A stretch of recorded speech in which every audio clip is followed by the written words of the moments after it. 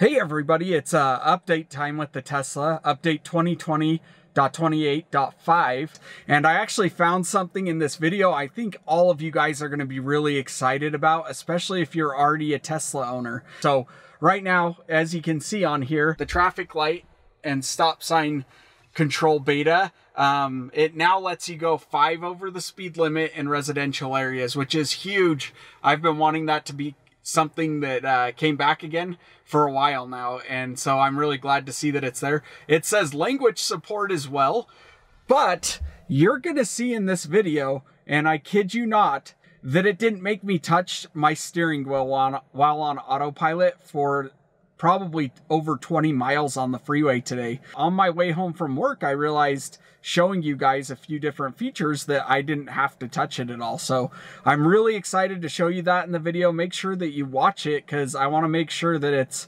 out there that this is a huge step for Tesla. There's a lot of key things that are hidden within the update, as you can see, um, that don't actually get featured in their notes. So really, really cool stuff. All right, we're back here on the drive and uh, I'm gonna put it into navigate on autopilot real quick so you guys can see this. Uh, part of this update, I wanna see how well it's gonna handle um, merging onto the freeway from one of the places that I've shown in a previous video.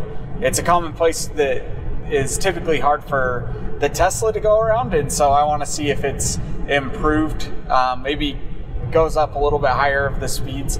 I know that the plus five mile an hour range or plus five mile an hours added to autopilot in residential areas has been super super convenient so far. I've only used it for today and uh, i want to see how well it does this. So we're, we're coming up here um, onto this. Let's see it change lanes. Hopefully nobody pops over at the same time as me. Oh yeah i've got to confirm the lane change it's been throwing me off. I took that off because the Tesla was making some weird decisions as far as lane changes go, and so uh, I wanted to make sure that I, I had control of whether it was going to lane change or not. All right, so we're coming up to this curve that I was talking about here, and I want to see how much it ramps the speed down, when it ramps the speed down, and uh, how well it, it corners here because this is a really sharp turn. So this is already a little better. It usually would start slowing down right here. Uh, I guess it's still slowing down quite a bit right here. Um, me as a human, I would have slowed down right up here a little bit more. All right, so it looks like it's actually taking it slower than it has before. I'm gonna push the accelerator because I don't want people to get mad behind me. Um, usually it would go about 35 miles an hour there, so I don't know why it's being more cautious than usual there. Um, I'm also going to change lanes here before Navigate on Autopilot does because I don't like waiting there and then getting kicked off the freeway. So, not saying that it would do that, but it has happened before, so I didn't want to risk it.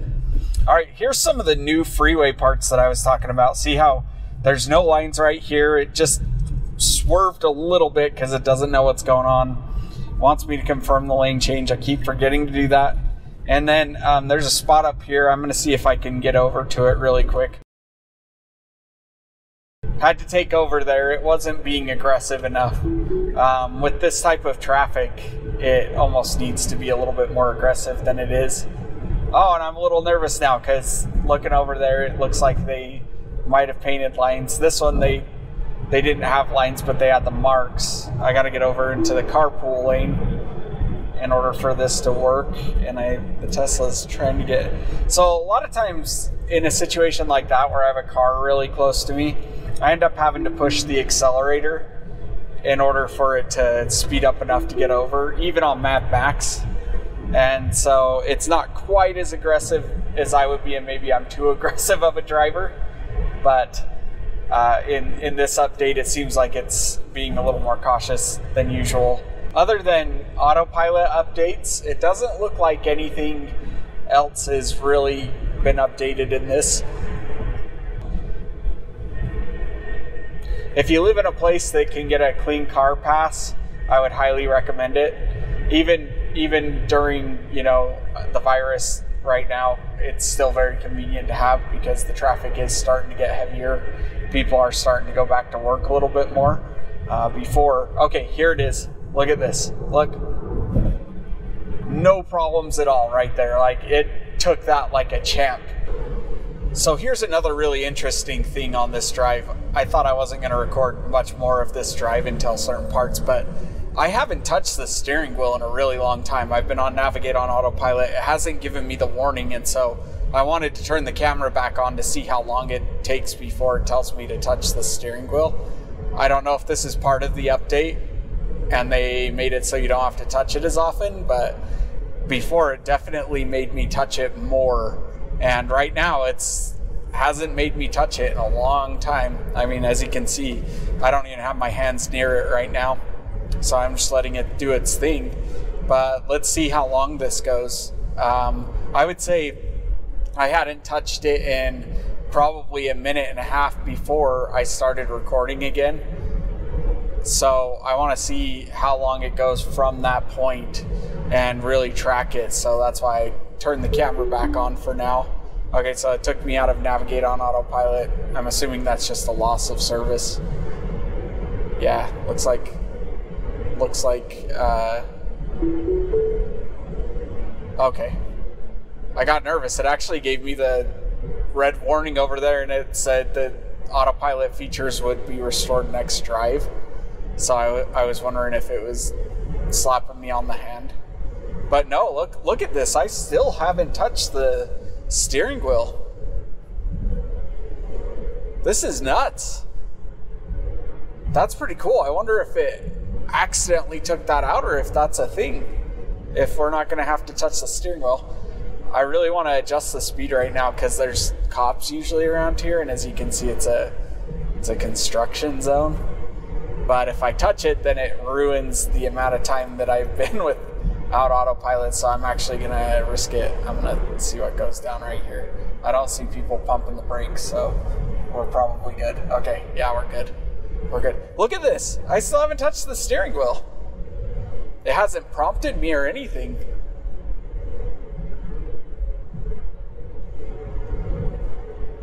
Man, I hope I get behind a car though, because this is pretty crazy where this construction is. So I don't want to go into anybody else's lane. In fact, let's see how well it's going to keep us in the lane. I want to pull up the camera here so you guys can see it as well. And uh, oh my gosh, I've got to have my hand over here just in case. I really still haven't touched the steering wheel yet. It's not, as far as I can tell, it hasn't even told me that I need to yet which is crazy. Yeah, I still haven't touched it. It's not flashing blue. Look at that. Not flashing blue at all.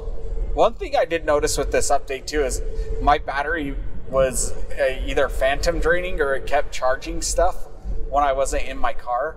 Uh, I, I, did have my GoPro batteries plugged in and uh, I had left. I, uh, while I was at work, it was still plugged in, but I lost about 14 miles while I was working, maybe even more than that. I think it was actually closer to 20 or 30 miles of range.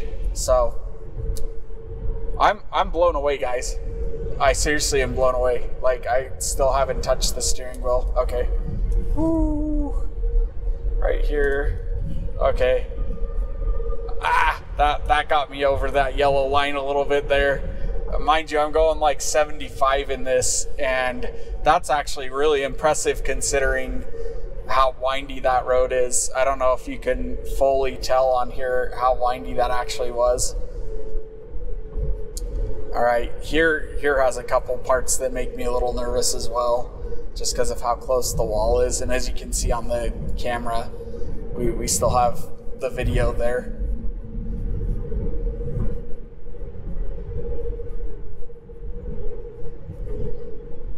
Yeah, I think it's safe to say that this is gone. I I don't think this feature is in there anymore. Like I said, I don't know if it was a mistake or if it's just a hidden thing in there that you don't have to touch the steering wheel at all while it's in autopilot. Um, I'm in Navigate on autopilot right now, so maybe maybe I'll cancel out of that and then just see if it's only on cancel or uh, on Navigate on autopilot um, okay, still, still haven't touched the steering wheel though. mind you, right? So hopefully these people don't get too crazy. There's a couple more sketchy things. I'm gonna pull this up so you guys can see the wall and how well it keeps you in the line. It's funny, it makes me feel like I'm really close to the wall, but then when you look at the video down on the bottom left, I'm actually not that close at all. So it keeps you pretty well in the center of the lines. So I want to show you guys that the speed limit now goes and sets it five over. I'm also going to show you an exit here. Um, I'm headed to Home Depot and I want to show you an exit here that it's always had problems with taking and so I want to see if it can take this exit and actually make it through the stoplight.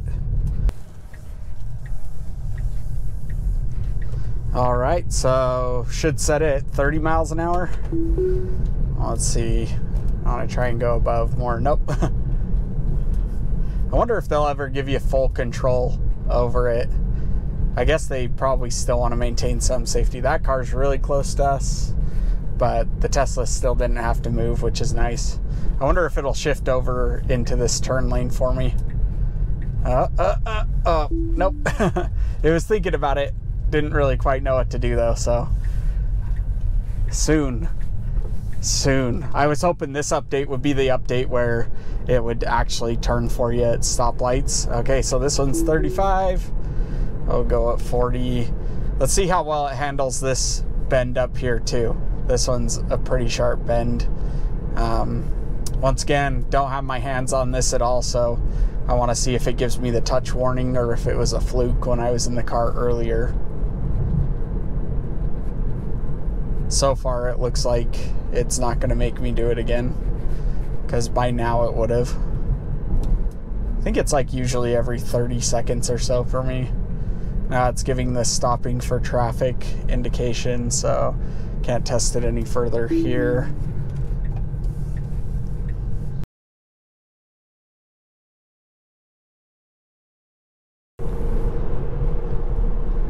The other question I had in the comments for Tesla owners out there is um, have you stuck at a certain update and not wanted to update past it? Or are you uh, like me and you just pump out the newest updates whenever it's available? Because I like to have the, the latest updates, but at the same time, if you find out ahead of time that you're going to lose functionality, I could see people staying on an old update until they see that it's added back or it gets the kinks out, things like that. I did I did have an update that was pretty bad for autopilot for a while there. It wouldn't do the follow distance properly. I made a video on that too. And so that was kind of one of those updates that, in all honesty, I wish I would have held off on because I liked how it was driving before. Now I've only noticed improvements on this. It's cool to see it continually progress, at least in my area. Um, it's interesting because each market is always progressing in a different form or fashion, you know, and so you know it might might get better in one area, but might get worse in another area. Okay, so getting off this exit, you'll see how crazy it is. It's it's a really weird one. In fact, it's got two lanes across the street, but you've only got one lane that you can go in and everybody usually takes you know that left only turn lane. Okay which one's it to choose? Is it to go? Okay so it chose right. It chose the the straight arrow. Um, a lot of people will go into that lane and not actually turn. They'll go straight too so i think that will affect it. Hopefully we don't have anybody like that so we can see if it'll just follow this once again, I, I don't know if you noticed, but I did not touch the steering wheel. I keep saying that, but it, it really is a cool thing. At this one, it might send me straight towards the car in the turn lane over there, so we'll see. So right now, I actually have a lead car, which is uh, sort of good and bad because now it's going to judge it based on having a lead car go through this light. And I kind of wanted to see if it would do it by itself, but I, I am interested to see how it does it with the lead car. So let's see. Okay, so that hesitated for a long time before going. Um, well, it made it across. it almost got me in the other lane there, but it did make it across. It never even did that before. It didn't even attempt to do it before. So, like I said, I don't know if that's because it's a lead car in front of me, and so it was just following that lead car. But, um, all right, well, I'm at my destination. I'm actually getting things for another video I'm putting out. We, we uh, made a fire pit but I hope you guys enjoyed the video. Uh, like, comment, and subscribe. Really, I, I would like the discussion to be down in the comment section. So tell me about your experiences with the new update. If you have a Tesla, some of the things that you want to see improve or change. And I'll see you in the next video.